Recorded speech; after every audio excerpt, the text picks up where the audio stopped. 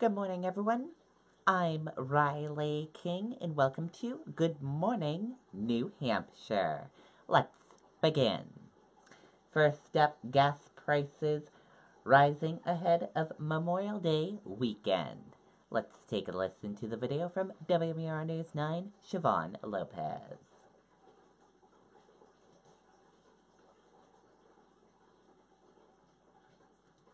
You may notice the price going Back up when day. you gas Sorry about that.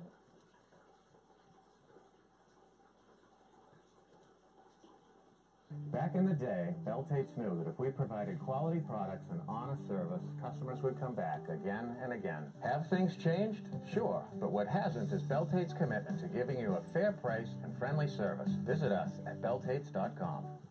You may notice the price going up when you gas up. Yeah, I definitely have. While New Hampshire remains below the national average, we're seeing a state average at about $2.85 a gallon. That's 55 cents more than we were paying a year ago. For the most part, the Granite State is keeping it under $3 a gallon, except at rest areas along the highway where prices are usually higher. I, I just try not to look at it because still got to do it. I think I'm at a point where like I've kind of come to accept it because you know sometimes it goes up. Drivers accepting the change in price says this is a trend we typically see when the busy summer season draws near and more people are expected to be out on the roads. At first, like the first few times it happened, I was like "Ah, I'm angry, but now I'm just like ah, another day in the life. These are the highest gas prices in the last three years. According to AAA, the national average jumped 6 cents in the past week, due in part to the White House's decision to reimpose sanctions on Iran. They predict the average could jump as high as $3 a gallon at some point this summer,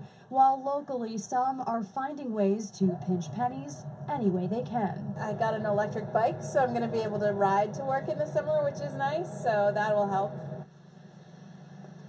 All right, so there's good news and there's bad news. Let's get the bad news out of the way first. Experts do expect these prices to continue to rise through the holiday weekend next week, but the good news, they should start to decline after Memorial Day.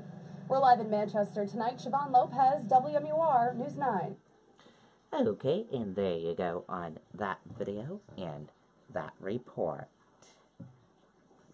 And we want to hear from you. Are you going to be traveling for the Memorial Day weekend?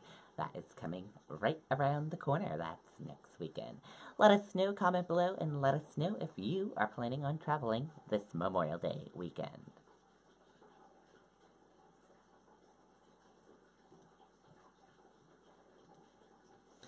Parents accept diploma for Salem State grad killed days before graduation.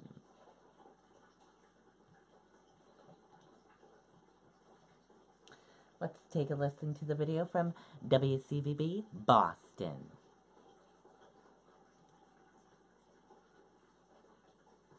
It's time to upgrade at Nissan's Tech for All sales event. Get 0% financing on every model, including Rogue with Pro Pilot Assist. Hurry, event ends soon. Now's the time to save with exclusive offers like this. It's a day that Chris Joyce had dreamed about for years. A day to celebrate the hard work and sacrifice required to get a college degree. extremely proud of him. Everybody's proud of him. first male to graduate, um, and it is a big deal. But tragically, Chris wasn't the one walking across the stage at Salem State University Saturday. Chris's mother and father walked for him, accepting the diploma on their son's behalf just two weeks after he was shot and killed. We just wish that it wasn't this type of day that you know somebody has to walk for him. Police say Chris and a family friend, 58 year old Claiborne Blair, had been standing outside the Haley apartments in Jamaica Plain with a group of men and were the unintended targets of a man shooting at random. I wish that whoever did it, they would have got, to, know Chris as an individual. as an individual and not label him from where he where he was at. Chris's family is angry, upset, and saddened, but the emotion they feel the most today is pride. Pride that Chris accomplished his goal, got his diploma and inspired so many people in his 23 years. I had 10 grandchildren. He was a role model for all of them. He had big plans and big goals, and he was going after them. He smiled his way through all his challenges. He let people know that it's not where you come from, it's who you are. And there were so many relatives of Christopher Joyce here today that the family filled three vans and several cars just to get to graduation. Those vans, by the way, provided by the city of Boston for free. Okay, and there you go on that video and that report.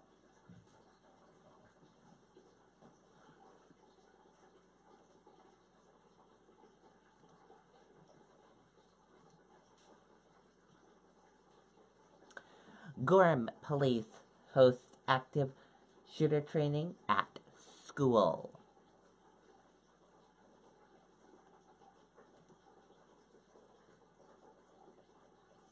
Let's take a listen to the video from WMTW News 8 Maine. It's time to upgrade at Nissan's Tech for All sales event. Get 0% financing on every model, including Rogue with ProPilot Assist. Hurry, event ends soon. Now's the time to save with exclusive offers like this. 22 school shootings in the United States this year. While none of those shootings were here in Maine, law enforcement is taking steps to prepare themselves and protect our communities should an incident take place. A full-scale active shooter training was held today at Gorham High School. Agencies and emergency medical services from Cumberland and York counties took part. Organizers say these drills are a community effort beyond just law enforcement. It's uh, so important as well for uh, you know building relationships with your community and with your school communities, the students uh, within your schools as well. Um, to try to prevent these types of incidents, communication between uh, those types of communities and your local law enforcement are very important so that maybe we can prevent some of these incidents from happening before they do happen. Dozens of volunteers helped participate in today's drill. Okay, and there you go on that video and that report. Very good to do drills like that.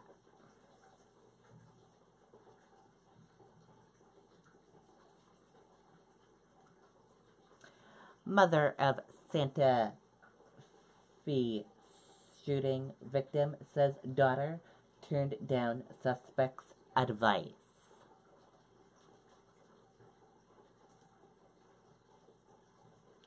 Let's take a listen to the video from ABC News.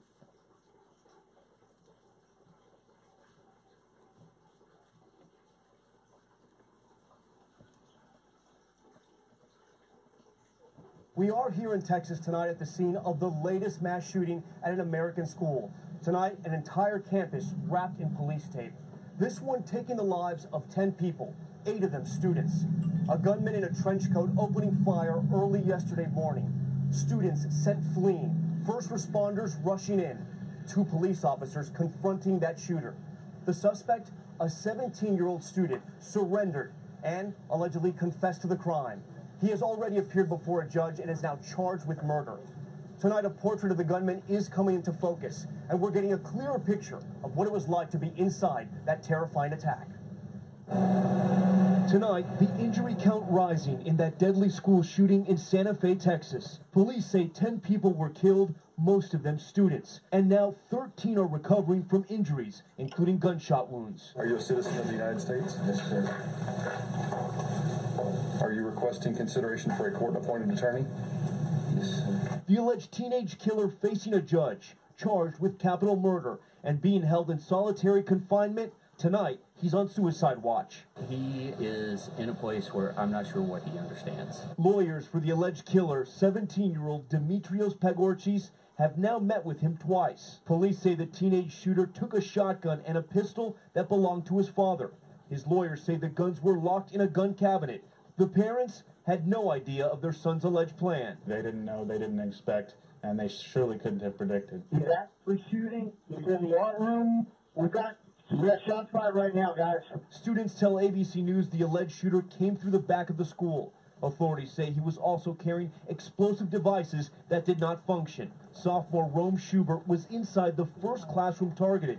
He says the shooter first tossed in one of those homemade bombs. He threw something at the desk, and I heard it, but I didn't think nothing of it. It just sounded like a pin. Five seconds later, a loud bang. My ears started ringing. Loud bang, loud bang, and then it just everything kind of went crazy from there. Shubert, a star pitcher on the school's baseball team, says he barricaded himself behind a desk before running for safety, not knowing he had been shot in the head. Luckily, the bullet exiting with minimal damage. I had no idea. Oh, so I looked at my shirt, and it was blood dripping down, and then my friend came up behind me and said, "You got shot in the back of the head." Students say they remember hearing a fire alarm going off, alerting them of danger. Students running out of their classrooms to hear gunshots and see their classmates wounded and dying on the floor. We were playing dead. Police and SWAT teams surrounding the school, kids lining up on the field, emptying their backpacks for officers to inspect, their hands on their heads. I didn't know what to think. I shouldn't be going through this at my school. Like, this is my daily life. I shouldn't have to feel like that. And I feel scared to even go back. Students we spoke with say the gunman was quiet and odd, but not violent. He'd wear the trench coat always? Every day. Every single day. Even if it was 90 degrees outside? Every single day. Investigators still have not said what set the teen off. According to the probable cause affidavit, the suspect surrendered, allegedly telling police he did not shoot students he did like so he could have his story told. Okay, and there you go on that video and that report.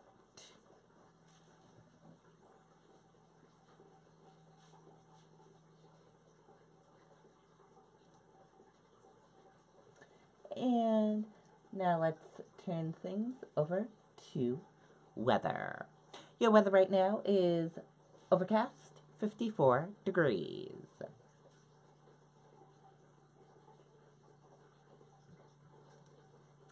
Weather for today is mostly cloudy and mild with a few T storms, highs in the mid 70s.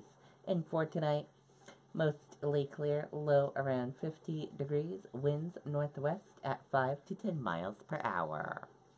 And we're going to take a quick commercial break. We'll be back with our second half of Good Morning New Hampshire. Don't go anywhere. We'll be right back.